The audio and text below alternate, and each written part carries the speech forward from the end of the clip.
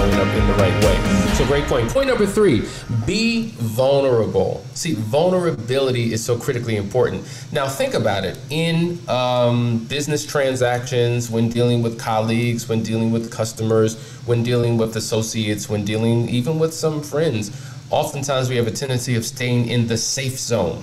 And the safe zone is staying in spaces that are comfortable right? Because none of us want to feel uncomfortable. But one of the things that we always say in intimate conversations is that you've got to get comfortable with being uncomfortable. Yeah. And so if you're showing up and you're on edge and you have anxiety and fears and trepidation and all these things going on, you need to sit in the pit of that pain until you no longer feel uncomfortable.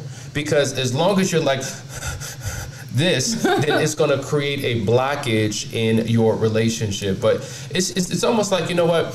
think about vulnerability like this becoming emotionally naked. Now, a lot of you uh, in your marriage, you have no problem becoming physically naked. That's what you do, that's physical intimacy. But emotional intimacy is when you take off all of the barriers uh, that prevent an emotional uh, connection. So, we talk about this example all the time.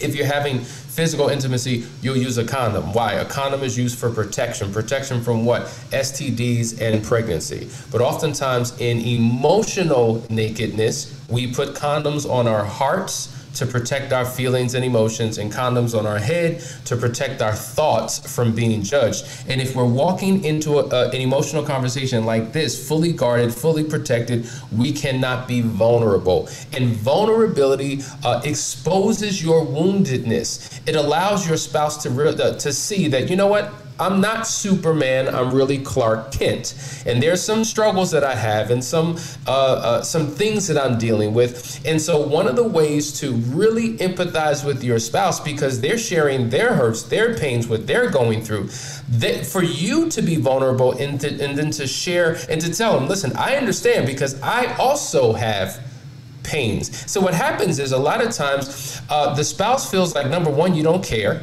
right? And number two, you don't understand because you don't hurt the way I hurt. And you may not hurt the way they are hurting because yeah. their hurt is different. But when you can share your own hurts, uh, I think that changes things. I remember in our relationship, uh, early on, you would say it's, it's, like you don't even care. You don't have any feelings. It's like you're a robot. You're an android.